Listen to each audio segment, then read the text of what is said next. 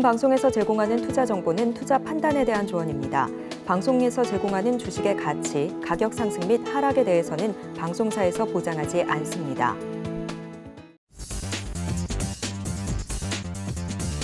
안녕하십니까. 순간포착 매매 시그널 진행의 도지은입니다. 간밤에 뉴욕 증시의 3대 지수 모두 하락으로 마감이 됐다는 말씀 전해드렸습니다. 장전 전략 앞서서 좀 세워드렸는데요. 뉴욕 증시도 이 연휴와 블랙 프라이데이를 앞두고 좀 제한된 지수 흐름이 나오고 있는 가운데 개별적으로 특징적인 종목들도 있었습니다. 국내 증시 같은 경우도 이 뉴욕 증시와 비슷한 흐름을 보일 것으로 예상이 되는 가운데 지수가 박스권 안에 갇힌 채로 개별주들이 움직이고 있는 양상 어제 우리 시장에서 좀 포착이 됐는데 오늘 우리 시장에도 비슷한 양상이 나타날지 혹은 또 시장을 이끌어줄 주도주가 나타날지 계속해서 좀 체크를 해봐야 될 것 같습니다. 오늘도 저희와 함께 해 주시면서 장중 대응 전략 세워가 보시기를 바랍니다. 자 그렇다면 현재 움직이고 있는 시장의 움직임 체크를 좀 해보도록 하겠습니다. 함께 보시죠. 네, 코스피와 코스닥 오늘 약세로 출발할 것으로 예상이 되고 있습니다. 코스피 2,411포인트 선 현재 지나가고 있고요. 0.33% 하락한 모습입니다. 코스닥도 0.76% 정도 하락한 채로 713포인트 선 현재 지나가고 있는 모습인데 어제는 내내 흘러내렸던 우리 증시가 오늘은 이 약세를 좀 탈피해서 반등해 줄 수 있을지 좀 기대를 해보면서 시장 흐름 체크해 보도록 하겠습니다. 자, 더불어서 시장 속에서 매매 시그널 잡아주실 전문가님들도 소개해 드립니다. 오늘도 네 분의 전문가님 모시는데요. 이성웅 차장, 임상현 파트너, 사영관 차장, 그리고 유영아 과장까지 모시고 이 네 분의 전문가님과 함께 실시간으로 움직이고 있는 종목에 대한 흐름 잡아보도록 하겠습니다. 장전에 저희가 잘 전략 세워드렸지만 장이 개장하기 직전 저희가 꼭 체크해봐야 될 포인트들도 짚고 넘어갈 텐데요. 시황센터 연결합니다. 안녕하세요. 시황센터의 캐스터 박정원입니다. 카타르 월드컵이 개막을 하면서 세계인들의 축제는 시작이 됐지만 글로벌 증시 투자 심리는 꽁꽁 얼어붙었습니다. 연준의 고강도 긴축 행보에 대한 우려가 더욱더 커지고 있고요. 또 게다가 중국에서는 코로나19가 재확산하고 있다는 소식 들려왔죠. 도시 봉쇄가 더욱더 강화될 수 있다는 이야기까지 나오고 있는 상황입니다. 어제 우리 시장 양대 지수는 모두 1%대 낙폭을 키우면서 하락장이 연출이 됐습니다. 간밤 뉴욕 증시 3대 지수도 모두 내림세를 연출한 가운데 우리 시장 양대 지수 오늘도 역시나 약보합 출발이 예측이 되고 있습니다. 코스피는 0.3% 넘게, 코스피는 코스닥은 0.7% 넘게 내림세를 연출할 것으로 예측이 되고 있는데요. 코스피와 코스닥 시가총액 상위 10개 종목의 보다 자세한 흐름도 함께 살펴보시죠. 먼저 코스피입니다. 원달러 환율이 어제 장중 1,350원대까지 뛰어오른 가운데 외국인들은 1,600억 원 규모의 매물을 쏟아내면서 지수 하락을 부추겼습니다. 1위부터 5위 종목 함께 살펴보시면 반도체와 자동, 차 그리고 2차 전지 등 시장을 주도하고 있는 종목들이 너나 할 것 없이 파란불을 켜는 하루였는데요. 코스피 1위부터 5위 종목 중에는 삼성 바이오로직스만이 이 고환율의 수혜와 실적 개선에 대한 기대감이 고조되면서 홀로 빨간불을 켜냈습니다. 또 SK 하이닉스와 시가총액 순위를 바꾸면서 코스피 시총 3위에 이름을 올리는 모습 함께 살펴볼 수가 있었는데요. 한편 오늘 아침에는 LG 에너지 솔루션이 이 4조 원을 투자해 미국 테네시주에 배터리 양극재 공장을 설립하겠다는 소식을 전해왔습니다.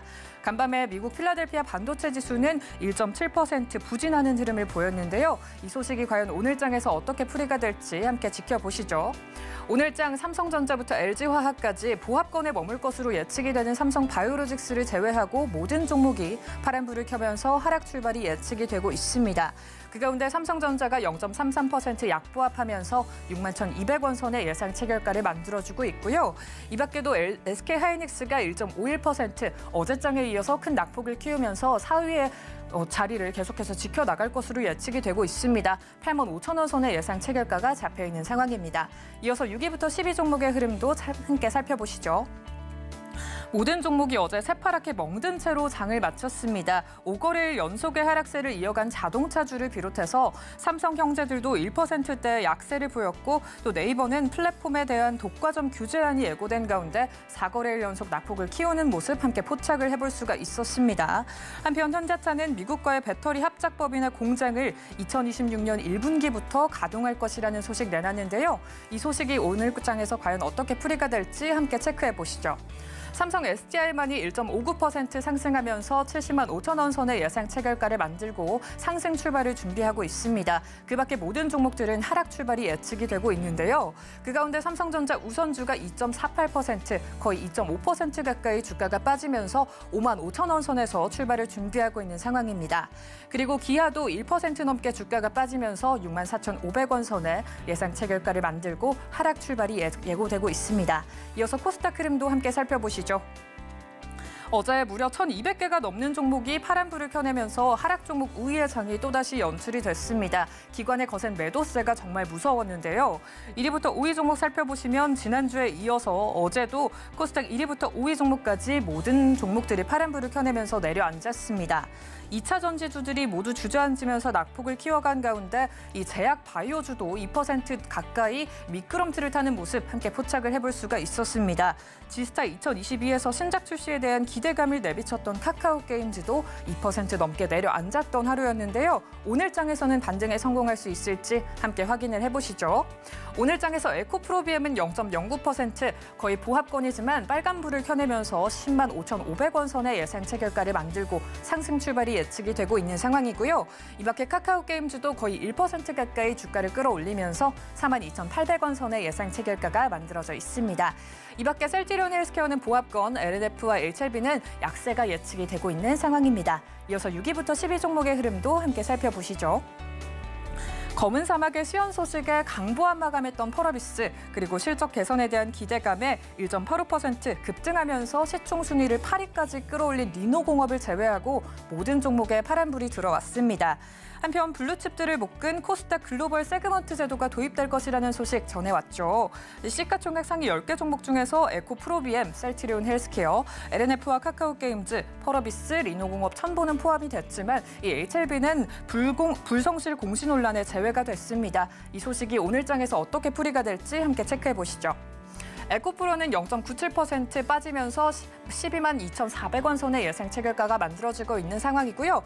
리노공업도 0.88%, 첨보도 1.56% 약세가 예측이 되고 있습니다. 그 가운데 셀트리온 제약만이 500원 오르면서 6만 6,900원 선의 예상 체결가를 만들고 상승 출발이 예측이 되고 있습니다.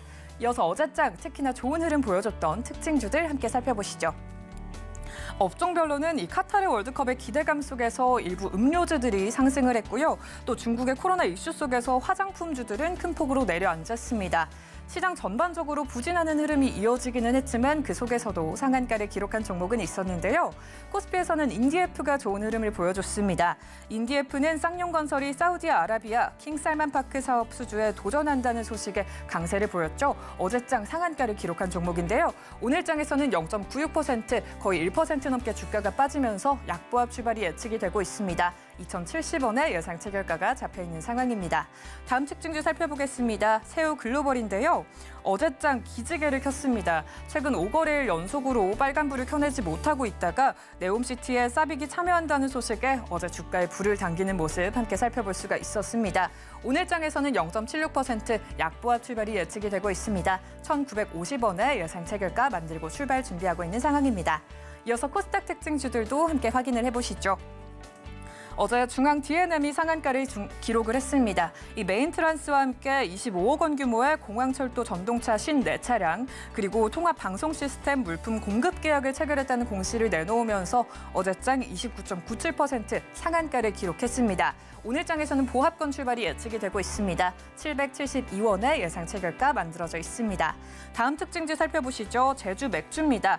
2022 카타르 월드컵 효과로 이 맥주 관련주들이 강세를 보인 가운데 제주 맥주가 가장 강한 흐름을 보여주면서 19.89% 거의 20% 가까이 주가가 상승했습니다. 오늘 장에서는 1.38% 약세가 예측이 되고 있는 상황입니다. 다음 특징주 살펴보시죠. 래몽래인입니다.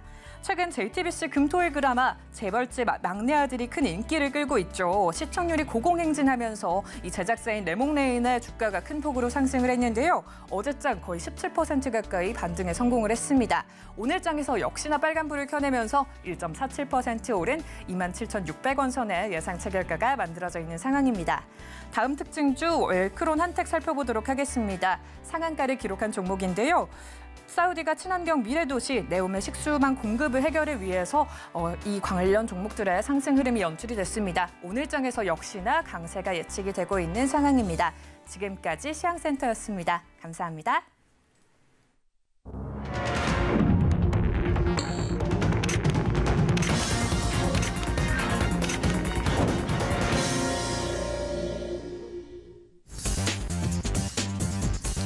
네, 11월 22일 우리 시장 개장을 했습니다. 간밤에 뉴욕 증시 전반적으로 약세 흐름을 이어가고 있는 가운데 뉴욕 증시 안에서도 블랙 프라이데이 등 이런 대형 행사들을 앞두고 지금 현재 어, 택배 파업 같은 내용들이 나오고 있습니다. 더불어서 중국 같은 경우도 코로나19로 재봉쇄가 될 수 있다는 이슈가 계속 나오고 있는 가운데 전반적으로 글로벌 증시 약세를 띠고 있습니다. 오늘 국내 증시도 어떤 흐름 이어갈지 바로 좀 체크를 해봐야 될 것 같은데요. 코스피 코스닥 지금 현재 지수가 떴네요. 역시나 약세 출발합니다. 코스피 0.56%, 코스닥은 0.41% 정도 하락한 채로 출발합니다. 자, 첫 번째 개장 상황 짚어주실 전문가님 먼저 연결을 좀 해보도록 하겠습니다. 늘 자세하게 개장 상황 짚어주시는 분이시죠? 다울투자증권 영업부 이성웅 차장님 화상으로 연결해 봅니다. 차장님 안녕하십니까? 네, 안녕하십니까? 네, 반갑습니다. 어제 우리 시장 내내 좀 흘러내리는 모습을 보였는데 오늘도 약세로 좀 출발을 합니다. 개장 상황 어떤 부분부터 짚어볼까요? 네, 어제 약간의 그 분위기가 좀 나오는 걸로 판단되고 있고요. 어, 우선 미국 증시가 이제 달러, 어, 달러에 대한 강세 여파로 이 기술주 중심으로 매물이 출회됐죠. 역시 우리나라도 기술주에 대한 비중이 높기 때문에 어, 시장에 오늘 좀 약간의 차익 부분이 음, 나오는 걸로 판단되고 있고요. 또 이제 뭐 국제 유가도 75달러로 이제 급락하면서 이 선물 시장, 상품 선물 시장 변동성이 컸는데 오늘 시장 같은 경우에도 역시 전체적으로 이런 부분이 이 투자 심리에는 위층 요인이지 않을까라고 좀 생각되고 있습니다. 어, 그렇기 때문에 그 지금 현재는 뭐 종목별로 집중할 수밖에 없는 상황이고요. 그동안에 뭐 2차 전지, 뭐 셀이나 또 소재, 또 바이오 쪽의 낙폭이 차익이 좀 심했죠. 그런 종목들에 대한 매수 관점을 가져가시는 게 좋지 않을까라고 좀 생각되고 있고요. 이 업종별로 볼까요? 지금 업종별로 봤을 때는 대부분의 업종이 지금 그 상승 출발하는 모습, 아, 대부분 하락 출발하는 모습 보여주고 있는데 그나마 좀 상승 출발하는 종, 업종은 이제 의료 종밀 업종입니다. SD 바이오센서가 1.38%, 우진이 0.77%, DI가 0.21% 상승세 보여주고 있고요.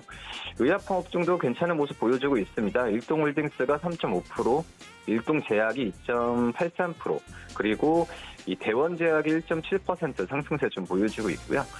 일동홀딩스, 뭐 일동제약, 일동주, 이 일동 그룹주들의 상승세가 지난주부터 어, 좀 계속적으로 나와주고 있, 는 현재 상황이죠. 뭐 코로나19 치료제, 뭐 승인에 대한 부분이 눈앞에 지금 왔다라는 얘기가 뉴스에도 많이 나왔었고 지금 현재 코로나 확진자 수가 다시 한번 증가하죠. 그렇기 때문에 이런 부분에 있어서 이 코로나 관련주들에 대한 관심이 조금씩 더 높아지지 않을까라고 좀, 라고 좀 생각이 좀 되고 있고요.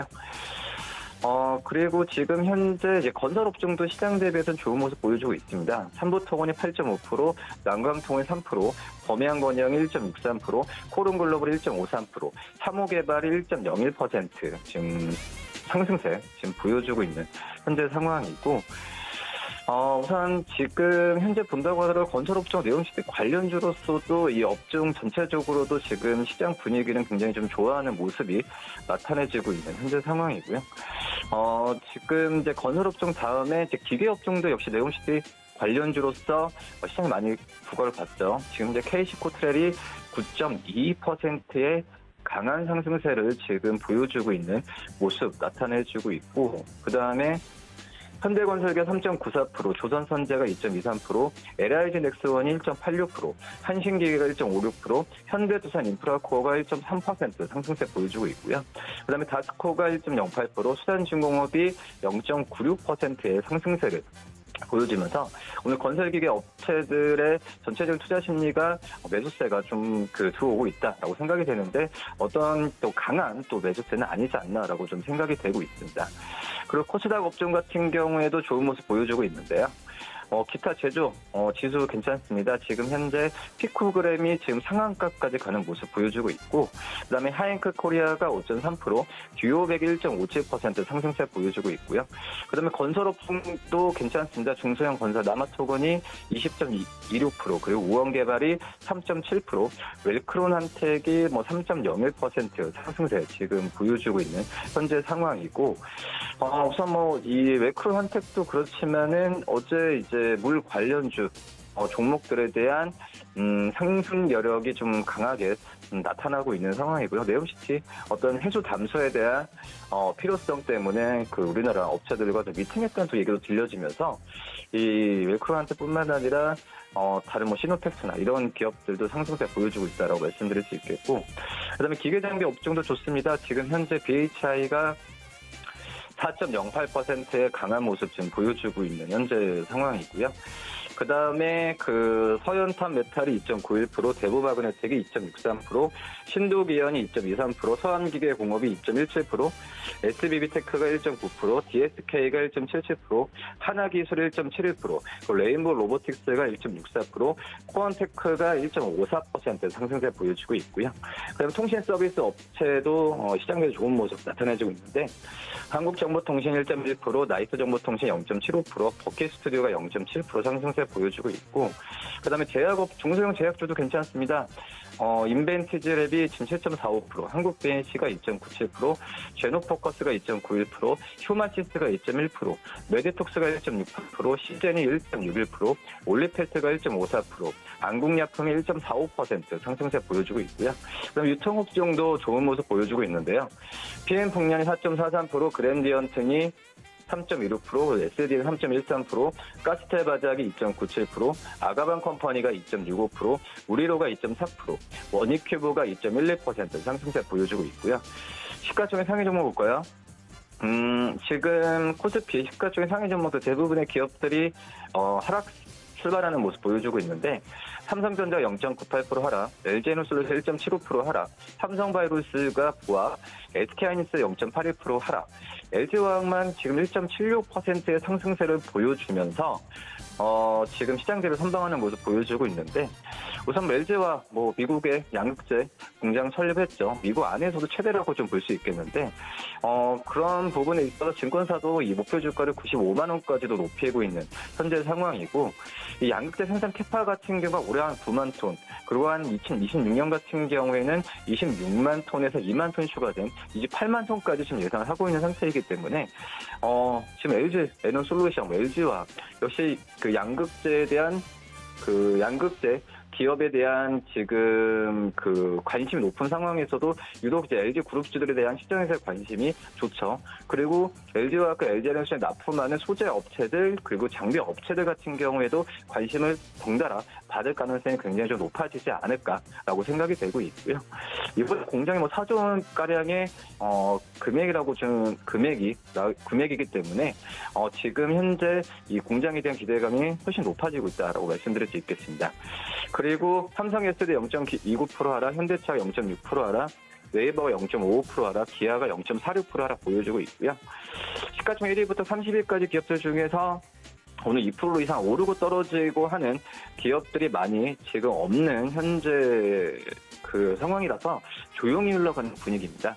1위부터 50위까지 기업을 본다고 하더라도 어, 큰 폭의 상승과 큰 폭의 하락세를 보이는 기업은 어, 많이 없고요. 오히려 지금 카카오페이가 3.28% 하락, 그리고 NC소프트가 2.51% 하락세를 보여주고 있는 점이 특징적이고, 그 다음에 코스닥 시가총 상위 종목들, 어, 1위인 코스닥 시가총액의 셀트론 헬스케어가 0.15% 상승세를 보이는 걸 제외하면은 1위부터 어, 지금 18위까지 비하면 전부 하락 출발하는 모습 나타내지고 있고요.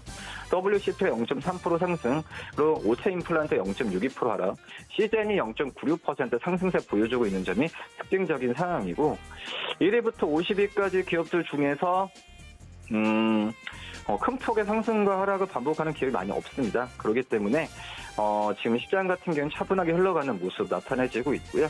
말씀드렸다시피 지금 오늘 차분하게 흘러가겠지만은 이 변동성이 나올 가능성도 좀 있기 때문에 변동성의 상승보다는 하락에 대한 부분이 의견이 좀 우세합니다. 그렇기 때문에 뭐 시장 좀 약간은 어, 적극적 매수보다도 지켜보는 관점이 필요하지 않나 이렇게 판단됩니다.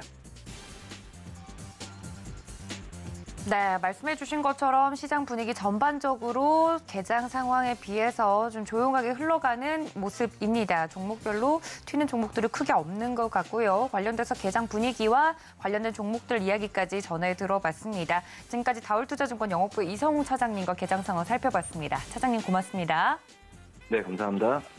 네, 말씀해 주셨던 것처럼 지금 시총 상위 종목들 중에서는 좀 눈에 띄는 종목 같은 경우는 LG 화학 같은 경우 1% 지금 2% 가까이 1.91% 정도 상승하고 있다라는 것 이외에는 시총 상위 종목들도 좀 조용하고요. 개별 종목들도 오늘은 조용한 모습이네요.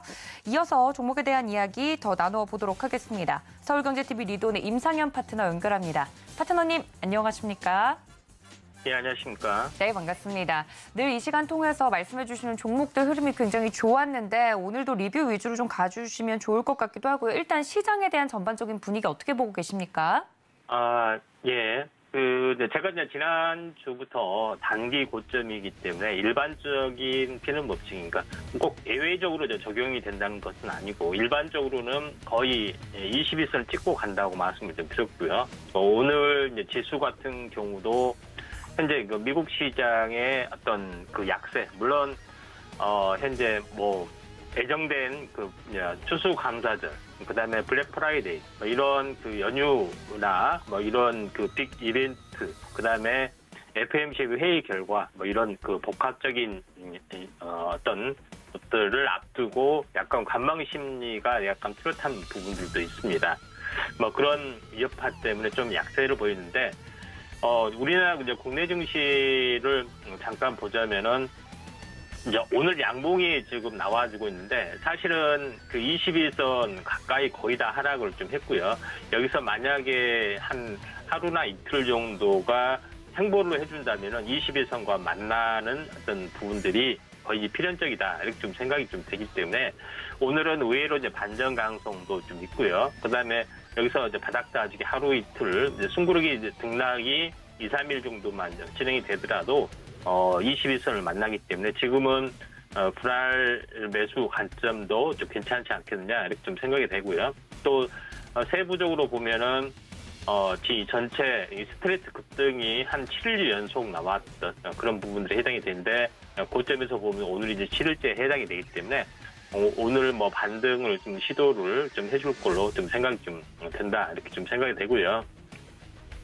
어, 그 다음에 이제 미증시 같은 경우도 어, 사실 나스닥의 흐름들을 보면 다우는 이제 상당히 강한 모습인데 나스닥의 흐름들 같은 경우도 이제 보더라도 어, 전체적으로 보면은 거의 한 쌍바닥 어, 찍고 어, 급등, 어, 숨고르기 이런 그 절반 정도 빠지고 있죠. 그다음에 이평선이 20일하고 60일하고 거의 크로스가 만나지고 있습니다. 그래서 크로스 어떤 시점에서 보면은 변동성이 상당히 강해지는 그런 부분들을 해, 볼 수가 있기 때문에 나스닥이 이제 상대적으로 강세의 흐름들이 나와줄 수가 있다 이렇게 좀 생각이 되기 때문에 어, 저는 그 연말에 12월 달에 한번 강세 부분들이 연출이 되지 않겠냐 이렇게 좀 생각이 좀 됩니다. 자, 그런 관점에서 상황을 봐야 될 것 같고요.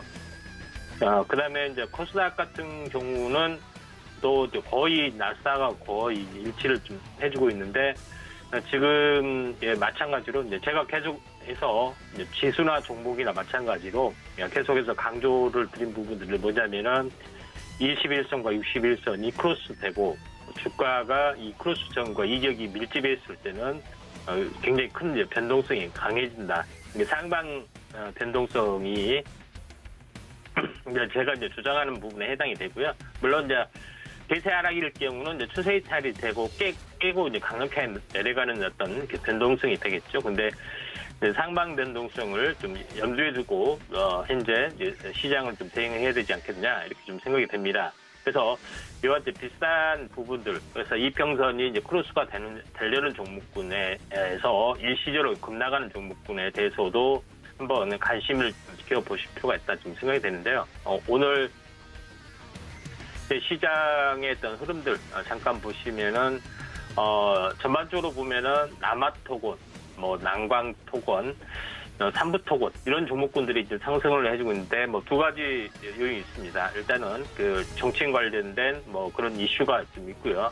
어, 두 번째 에, 부분들은 아무래도 그 현재 최근에 이제 불- 불고 있는 어, 현재 네옴시티 관련된 에, 그 중소형주의 어떤 참여 어, 관련된 가능성도 있기 때문에 이런 종목군들이 굉장히 강하게 약간 올라주고 있는데 아직 그 오르지 않는 부분들을 보자면은 어, 현재 그 삼부토건, 이 삼부토건도 어, 나름대로는 그 이제 인맥 관련주이기도 합니다. 뭐 그런 부분 좀 해당이 되기 때문에 오늘 강력한 양궁이 좀 나와주고 있는 어, 사항이 좀 해당이 되고요. 어, 그 다음에 약간 오르지 않는 부분들 같은 경우를 보자면은 이제 난강토건도 마찬가지 좀 해당이 되는데 어, 난강토건 도 마찬가지 이제 그 중동 건설 이력이 있기 때문에 미리서 상당히 반등이 됐고 이번에 인맥 관련주도 연결이 좀 되고 있기 때문에 에, 상당히 이제 강한 어떤 흐름들을 좀 보여주고 있다 좀 생각이 좀 됩니다. 자, 그런 관점에서 어, 시장의 흐름들을 약간 보실 필요가 있다 좀 생각이 되고요. 또 그 다음에 어, 또 하나 한번 관심을 좀 가져야 할 부분들은 이제 코오롱글로벌 그러니까 원팀 코리아 수주에 들어가는 업체이기도 합니다. 그래서 코오롱글로벌도 그 전체적으로 보면은 어, 저점에서 어, 어떻게 보면은 한번 큰 폭의 상승들을 보여주고요. 한번 어, 큰 조정들을 보여주는데 20일선 가까이 약간 올라주고 좀 있습니다. 물론 크로스는 그 미리서 나왔죠. 크로스 달려는 시점에서 주가 급락은 어, 매수 신호로 좀 작용이 될 수가 있기 때문에 어, 전체 이제 그- 현재 코오롱 글로벌 같은 경우도 어, 어떻게 보면은 이제 매수 어, 매수 가능성들이 이제 상당히 많이 있다 이렇게 좀 생각이 좀 됩니다. 자 그런 어떤 흐름으로 일단은 그 시장의 흐름들을 약간 보고 좀 대비를 하실 필요가 있다 좀 생각이 되고요. 그다음에 오늘 이제 강하게 좀 올라가는 부분들은 건설주 섹터도 있, 있고요. 어, 그다음에 어, 현대 현대건설 기계 현대건설 기계도 사실 여기서 현대건설 기계 어, 현대건설 예, 현대 두산인프라코 같은 경우는 바닥권에서 말씀드렸던 종목인데 지속적으로 지금 올라가고 좀 있는 상황이 좀 해당이 좀 됩니다. 그래서 어, 이런 역- 어, 현재 그 네옴시티 이제 수주전이 어떻게 보면은 어, 어, 현재 그 어떻게 보면 그 그 이번 이제 방안을 기점으로 해서 끝나는 부분들이 아니라 이제 수주전이 12월 그 다음 1월 이런 부분들이 예정이 되- 되어 있고요. 또 어, 이번 회담 성과 부분들이 이제 상당히 좋은 부분도 있기 때문에 사우디 답방 형식으로 또 연말이나 내년 초에 어, 그갈 수가 있기 때문에 이때 이제 정식 수주가 진행이 될 수가 있다 이렇게 좀 생각이 되기 때문에 이 부분에서 이제 전방위적으로 어, 그 진행이 될 확률이 많기 때문에 이 계속해서 이제 관심을 좀 가져야 되지 않겠냐 이렇게 좀 생각이 좀 되고요. 또한 가장 이제 중요한 부분들은 현재 그 이번 네옴시티뿐만이 아니라 아, 방산 온전까지 거의 확대되는 뭐 그런 부분들에 해당이 되기 때문에 어, 이 부분들이 이제 시장의 또 지표 어떤 그 어, 하고 같이 연결이 될 수가 있다 이렇게 좀 판단이 좀 됩니다.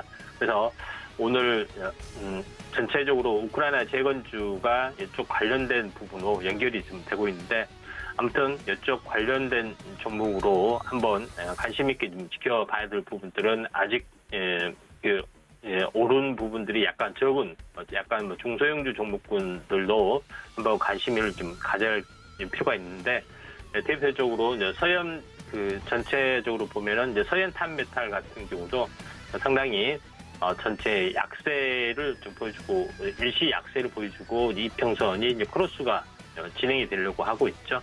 자, 이런 어, 또 움직임들 한번 좀 체크를 좀 해볼 필요가 있다 이렇게 좀 생각이 좀 되기 때문에 한번 그 참- 어, 참고하시길 바라고요.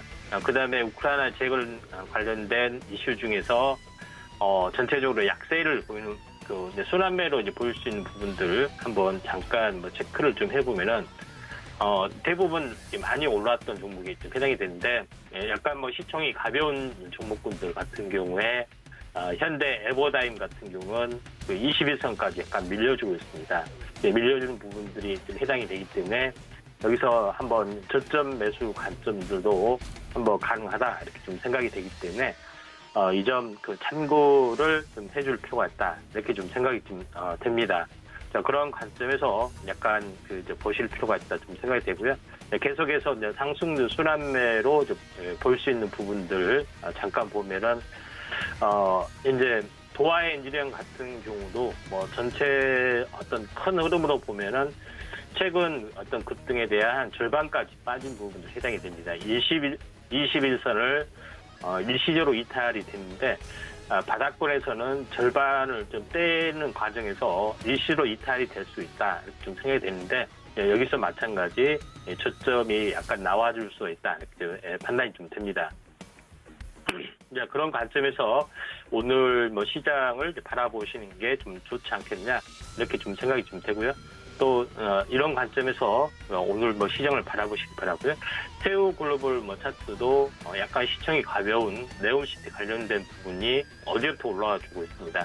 네옴시 어, 세우 글로벌도 한번 관심 있게 좀 지켜보실 네, 필요가 있다. 이렇게 좀 생각이 됩니다. 자, 오늘은 여기까지 하도록 하겠습니다. 아, 감사합니다. 네, 지금까지 실시간으로 움직이고 있는 종목에 대한 브리핑 서울경제TV 리돈 임상현 파트너와 함께 해봤습니다. 파트너님 고맙습니다. 네, 감사합니다. 네, 시장에 대해서 분위기와 그 더불어서 움직이고 있는 종목들 이야기를 나눠보고 있는데요. 다음 전문가님 연결해 보도록 하겠습니다. 교보증권 스마트 영업부 사영관 차장님과 연결해 봅니다. 차장님 안녕하십니까? 네, 차장님 안녕하십니까? 네, 연결이 지금 고르지 않은 것 같습니다. 다시 한번 연결을 시도해 보도록 할 텐데요. 일단 지금 현재 개인과 기관이 코스피 시장에서 사들여 주고 있고요. 외국인들의 매도폭은 크지 않은 모습입니다. 코스닥 같은 경우는 외국인과 더불어서 기관도 지금 현재 순매도가 나오고 있는 상황입니다. 자세하게 좀 살펴보시면 코스피 같은 경우 개인들이 51억 원어치, 기관은 170억 원어치 순매수 기조 유지해주고 있고 외국인은 170억 원어치 순매도가 나오고 있습니다. 코스닥 같은 경우 외국인과 기관의 동반 매도가 나오고 있는데 그 폭이 크지 않습니다.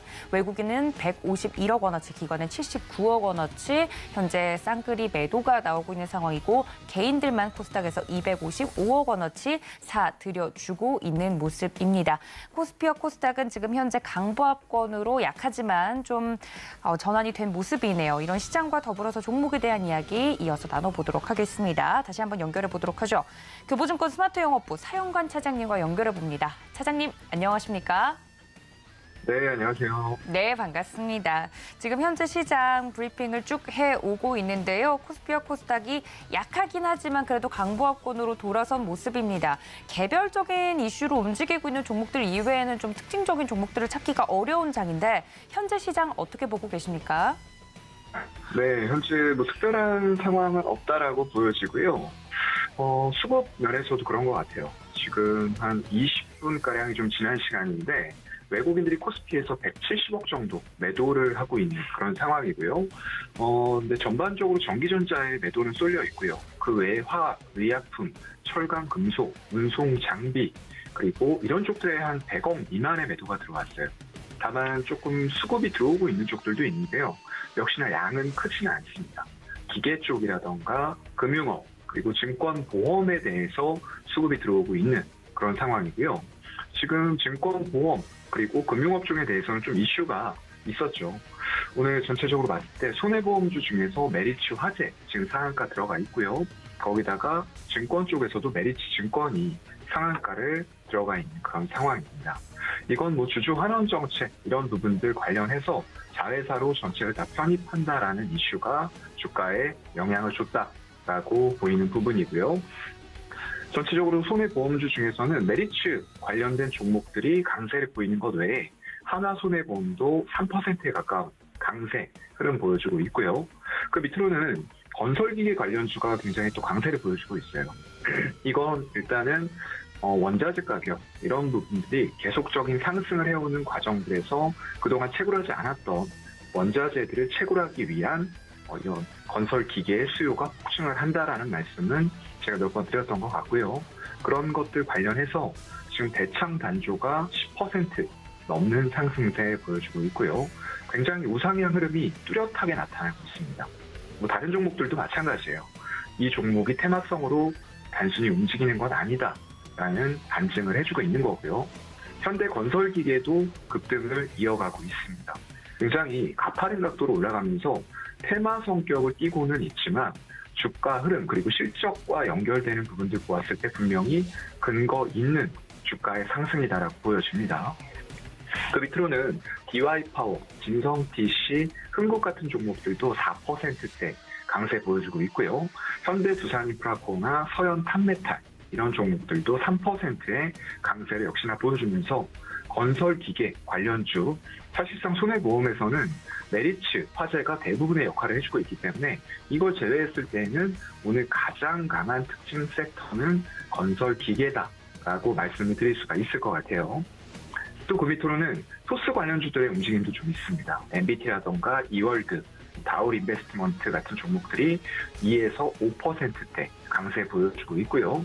건설의 중소형주, 조금 전에 말씀해 주셨던 것처럼 우크라이나 재건 관련해서 좀 테마성으로 약간 움직임들이 있는 것 같아요. 그 중에서도 나마토건이라는 종목이 오늘은 21%대 강세를 보이면서 가장 대장 역할을 해주고 있고요.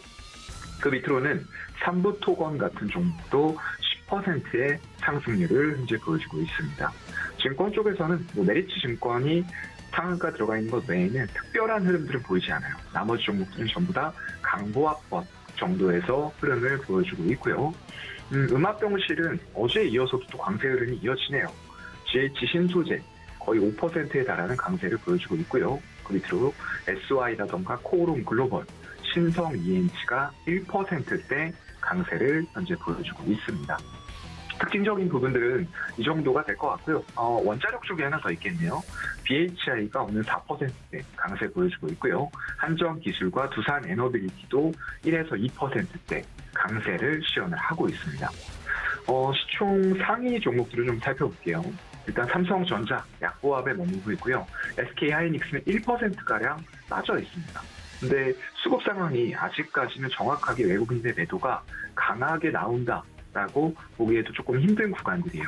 그렇다 보니까 외국인들이 거의 지금 쉬고 있는 상태에서 연기금 정도만 170억 정도의 매수가 들어오고 있는데 여전히 전기전자에 대해서는 외국인과 기관이 양매도를 하면서 소량이긴 하지만 개인들이 전부 다 사는 이런 모습들이 보이고 있습니다.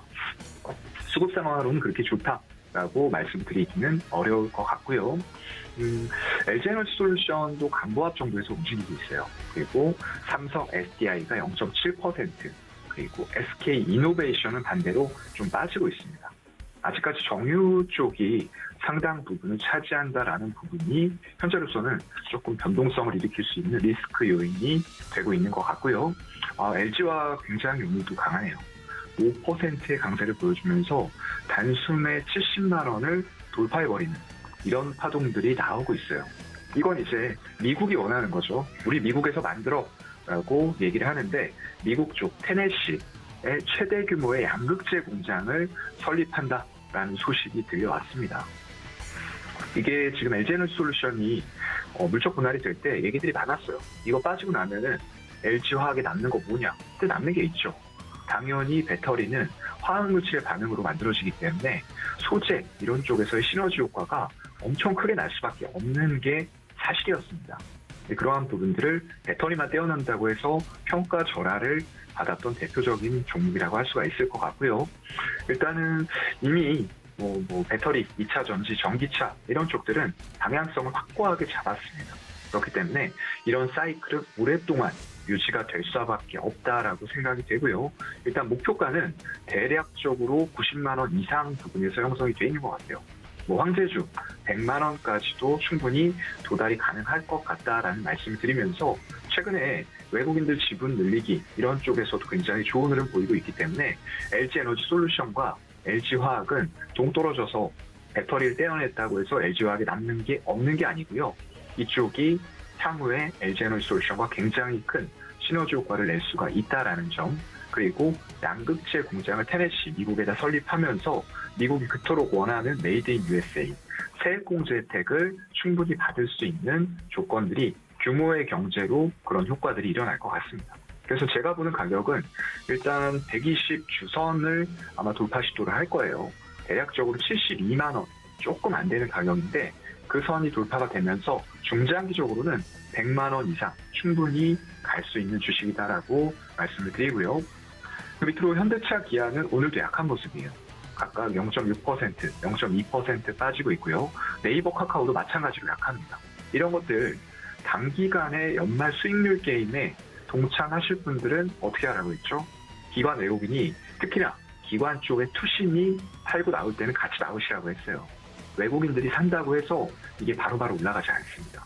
그래서 그런 흐름들이 그대로 지금 나타나면서 외국인들은 여전히 네이버 카카오에 대해서 단기적으로 반짝 수급 유입된 이후에는 매도 그리고 지분 줄이기가 계속 지속이 되고 있다라는 말씀드리고요. 카카오뱅크도 많이 빠지네요. 3.5% 하락이고요. 이것도 마찬가지입니다. 외국인들은 그래도 지분을 계속 산다고 사는데 기관 쪽에서 투신 중심으로 수익률 게임에 매도가 나오다 보니까 하락이 나오고 있는 거거든요. 이런 부분들은 조금 주의를 하셔야 될 것 같고요. 아까 말씀드린 메리츠 화재와 증권과 더불어서 메리츠 금융지주는 지금 기세 상한가로 들어가 있죠. 점상이라고 하죠. 굉장히 강한 흐름들 보여주면서 오늘 금융업종에서 시세 상승을 주도하고 있습니다. 네, 자세하게 지금 현재 시장 상황 분석을 해주셨습니다. 여러분들 시장에 대한 insight 얻어가 주시면 좋을 것 같고요. 지금까지 교보증권 스마트 영업부 사용관 차장님과 함께 시장 살펴봤습니다. 차장님 고맙습니다. 네, 고맙습니다. 네, 앞서 전문가님들이 쭉 이야기를 해주신 대로 시장에 오늘 큰 변동성은 없는 모습입니다. 이런 시장이 개인 투자자분들이 매매하시기엔 어떨지 어, 시장 분위기를 계속 좀 읽어보도록 할 텐데요. 다음 전문가님께 여쭤보도록 하죠. KB증권 프라임센터 투자 콘텐츠팀의 유영화 과장님과 연결해 봅니다. 과장님, 안녕하십니까? 네, 안녕하세요. 네, 반갑습니다. 시장 상황 지금 앞서 쭉 살펴보고 있고 지금 현재 개장 이후에 30분 정도 시간이 흘렀는데요. 시장에 큰 변동성이 없는 모습입니다. 시장 어떤 포인트로 저희가 정리해 볼 수 있을까요? 네, 일단 뭐 전일 미국 시장 영향으로 국내 증시도 오늘 좀 약세 흐름을 보이고 있는데 어, 최근에 뭐 코스피, 코스닥 모두 좀 지지선을 뚫지 못하는 저항선을 뚫지 못하는 어, 지금 모습을 보여주고 있습니다. 코스피는 오늘 1.5포인트 하락해서 2,417포인트로 지금 0.06% 마이너스 보이고 있고요. 코스닥은 2포인트 하락해서 100, 716포인트 보이고 있는데 어, 장 초반부터 외국인이 양시장 모두 좀 매도로 시작을 했습니다. 그런데 이제 30분 내에 조금 매수를 다시 하는 흐름을 보이니까 그래도 이제 코스피 코스닥 모두 플러스권 진입을 했다가 지금 다시금 매도세를 보이고 있어요 외국인이 그러다 보니까 다시 좀 마이너스 폭을 좀 늘려가는 흐름을 보이고 있습니다. 어쨌든 지금 미국 선물이 상승을 하면서 이렇게 좀 왔다 갔다 하는 모습을 보이고 있지만 어제도 말씀드렸지만 최근의 시장은 계속 외국인이 이끄는 상황이기 때문에 외국인이 매도를 하면 장 막판까지 이렇게 좀 마이너스 흐름을 보일 가능성 높기 때문에 유의하실 필요가 있어 보입니다. 어, 일단 지금 그 전일 유가의 급격한 변동이 시사를 하는 것처럼 어, 일단 시장 자체가 경기 불황 우려가 계속해서 부상을 하고 있는 모습 보여주고 있고요. 여기다가 연준의 초정금리 레벨을 둘러싼 불확실성도 어, 계속해서 높아지는 상황으로 호재보다는 악재 성격의 재료들이 부각되는 상황에서 주가가 좀 조정을 다시 보이고 있다라고 보시면 될 것 같아요. 어, 지수가 아무래도 단기에 급등했다는 점과 그다음에 시장이 다시금 경기와 실적에 대한 우려를 하고 있다는 점 등을 볼 때는 어, 단기적으로는 증시의 방향성은 위쪽보다는 아래쪽으로 압력을 좀 받고 있는 상황으로 볼 수 있을 것 같고요. 여기에 증시에 안 좋은 재료들인 달러 강세나 국제금리 재상승이 증시의 회복에 부담으로 작용을 하고 있다라고 보시면 될 것 같습니다. 하지만 호재성 재료를 어쨌든 시장이 소진을 했다라는 것과 동시에 어, 우리가 지금 알고 있는 악재, 악재성 재료들도 시장은 어느 정도 이미 익숙해지고 있다라는 것을 볼 때는 뭐 이게 어떤 급락을 가져온다라고 보기보다는 최근 이제 급등에 의한 조금 일부 되돌림 정도로 보시는 게 좋지 않을까라고 판단하고 있고요. 그래서 한 방향의 패싱보다는 이 밴드권 안에서의 박스권 흐름의 경로를 좀 보시는 게 적절하지 않을까라고 보고 있고요. 어, 계속되는 미국 증시의 조정과 중국발 코로나 봉쇄, 불안 등이 전반적인 국내 증시의 반등 탄력을 제한하고 있는데요. 어, 아무래도 이 악재가 지금 수년위로 부상의 부분, 오, 부상한 부분을 단기로 좀 해소하는 구간, 소화하는 구간을 좀 기다려 볼 필요가 있을 것 같고요. 어, 어제 미국 증시에서도 에이펙 회의 이후에 시진핑 주석의 코로나 밀접 접촉자 분류로 인한 격리설이 제기되는 것과 같이 금일 중국 봉쇄 조치 강화 우려 등으로 중국 관련 소비주나 애플 관련 IT value chain주 같은 경우가 이제 변동성이 다소 있을 수 있다라고 보여지고요. 테슬라 같은 경우도 어제 미국 시장에서 6%대 하락세를 보였는데 결국에 이 부분도 중국 봉쇄의 영향을 받고 있다라고 판단되기 때문에 어, 테슬라가 이제 크게 일단 하락을 했기 때문에 2차 전지도 지금은 뭐 플러스권 일단 유지를 하고 있지만 뭐 최근에 기술적 분석상으로 하락 divergence도 일부 발생을 했기 때문에 어, 조정도 염두를 해두시고 예, 그 전략을 짜셔야 되지 않을까라는 생각 해볼 수 있을 것 같습니다. 자 그리고 이제 코스피 코스닥 모두 과거 추세적으로 좀 조정을 들어갔을 때 5일선이 20일선을 하향 돌파하는 데드크로스가 나올 경우에 더욱 이제 하락 추세를 좀 강화하는 흐름이 보여졌었는데요. 현재 5일선이 20일선으로 향해 내려가고 있는 상황이기 때문에 데드크로스가 나오는 하향 돌파하는 부분이 생기는지 이 부분 모니터링이 좀 필요해 보입니다. 네, 시장 상황 자세하게 살펴봐 주셨습니다. 자, 그렇다면 체크해야 될 이슈와 특징주도 살펴보도록 할 텐데요. 과장님, 어떤 이슈와 특징주 저희가 살펴보면 좋을까요? 네, 어제 이제 그 건설기계 강조를 드렸었는데 그 중에서도 이제 그 최대 주주가 지분을 늘리고 있는 대창단조를 어, 좀 주목해 보시라고 말씀을 드렸는데요. 오늘 대창단조가 리포트가 나오면서 11%까지 급등을 했어요. 그런데 이제 신고가 돌파한 상황에서 거래량이 과도하게 좀 터지고 있기 때문에 지금 아직 장 초반인데 이렇게 거래량이 터졌다는 건 장 막판까지 더 거래량은 아마 어, 커질 수 있을 것 같은데요. 어, 이런 어떤 뚱뚱한 양봉이 나왔을 경우에 아마도 한번 챙기는 타이밍으로 보셔도 좋을 것 같아서 일단은 많이 이제 그 수익을 보셨다면 예, 좀 한번 챙기는 타이밍으로 보셔도 좋을 것 같고요. 아, 그래서 전에 기관 수급이 유입된 섹터를 주요하게 한번 좀 살펴볼 필요가 있을 것 같습니다. 우선 내년에 1월 미국 라스베가스에서 열리는 CES와 애플의 XR device가 공개되는 1월 예, 좀 주목을 해보시면 좋을 것 같은데 어, 최근에 이제 XR device 관련 주인 뉴플렉스나 나무가 쪽으로 수급 상위에 포착이 되는 모습들이 보여지고 있습니다. 해당 섹터로 다시금 수급이 유입되는 것은 최근 2주 정도 지금 이어지고 있는 현상인데요. 어, 내년 1월, 1월까지는 XR device에 대한 기대감 좀 가져볼 수 있지 않을까 판단하고 있습니다. 뉴플렉스의 경우에는 이제 F, FPCB를 메타 device 향으로 sole vendor로 공급을 하고 있기 때문에 이와 관련된 일단은 실제 실질 수혜주라고 예, 부각이 되고 있는데요. 나무가의 경우에는 이제 3D 센싱과 관련된 중요한 세 가지 기술을 모두 보유하고 있는 기업이기 때문에 기술력이 상당히 부각될 수 있고요. XR device의 출시 모멘텀을 지금 톡톡히 받고 있다라고 보시면 될 것 같습니다. 기관들이 선호하는 두 종목이기도 하고요. 또 XR device 모멘텀 발생 시에는 예, 좀 주가의 어떤 퍼포먼스가 좋은 종목들이기 때문에 잘 살펴봐야 되는 종목들이라고 말씀드리고 싶고요. 두 번째로는 CES에서 XR device와 함께 부각될 만한 섹터는 로봇 쪽이라고 볼 수 있을 것 같은데요. 또 내년도의 어떤 주도 섹터 중에 하나를 또 로봇이라고 보시는 분들이 많죠.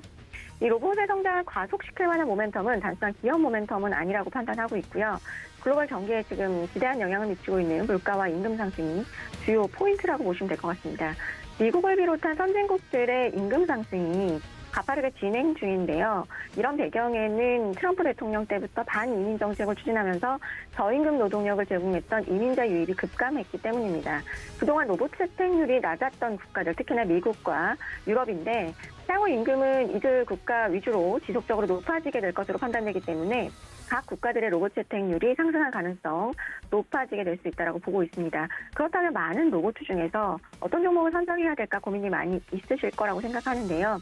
제가 생각하는 우선시해야 되는 로봇주의 기준을 몇 가지 말씀을 드리면 어, 우선 이제 성장성이 가장 가파르게 예상이 되고 있는 협동 로봇 기술을 보유하고 있는지 그 다음에 두 번째로는 감속기 국산화에 성공을 했는지 세 번째는 미국 시장에 지금 수출 reference가 있는지 예, 그 다음에 이제 다족 보행이나 이족 보행 기술력 을 가지고 있는지 이 네 가지를 주요하게 보시면 좋을 것 같은데 이 네 가지 중에서 어, 한 뭐 두 가지 정도나 세 가지 정도라도 교집합이 된다라고 하면 훨씬 더 주가 퍼포먼스는 좋을 수 있다라고 보고 있고요.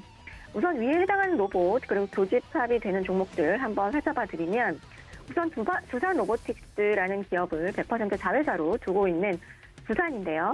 로, 어, 두산 같은 경우는 지금 이제 어, 로보틱스의 실적도 계속해서 긍정적인 상황으로 보여지기 때문에 주목을 받고 있다라고 보시면 되고요. 로봇의 관절 역할을 하는 감속기 국산화에 성공한 SPG 그리고 이족 보행과 협동 로봇의 강자인 레인보우 로보틱스 정도 관심 가져보시면 좋을 것 같고요. 여기에다가 최근에 수급이 우호적인 종목으로는 이제 로보티즈 정도가 우선 관심 대상으로 보시면 좋을 것 같습니다. 네, 이렇게 이슈와 거기에 맞는 특징적인 종목까지 이야기를 나누어 봤습니다. 어, 저희가 시간이 거의 다 돼서 어, 관련돼서 종목에 대한 이야기 자세하게 좀 들어보면 좋을 것 같긴 한데 시간 관계상 여기까지 좀 마무리를 해 보도록 하겠습니다. 늘 이 시간 통해서 특징적인 종목과 눈여겨보면 좋을 만한 종목들 이야기를 해드리니까 앞으로도 많은 기대 부탁드리고요. 지금까지 KB증권 프라임센터 투자 콘텐츠팀 유영화 과장님과 함께했습니다. 과장님 고맙습니다. 네, 감사합니다. 네, 이렇게 장중에 실시간으로 움직이고 있는 종목 흐름들 짚어봤습니다. 앞서서 말씀을 쭉 해주신 것처럼 큰 변동성이 없는 시장이 계속 연출이 되고 있는데요. 아무래도 중요한 이슈들 앞두고 눈치 보기 장세가 이어지고 있습니다. 여러분들 오후장까지 성공 투자하시길 바라면서 저희는 여기서 인사드릴 텐데 본 방송에서 제공해 드린 정보는 투자 판단에 대한 조언일 뿐 해당 주식의 가치나 수익률을 보장하고 있지 않다는 점까지 알려드리면서 저희는 내일 이 시간 다시 인사드리겠습니다. 시청해주신 여러분 고맙습니다.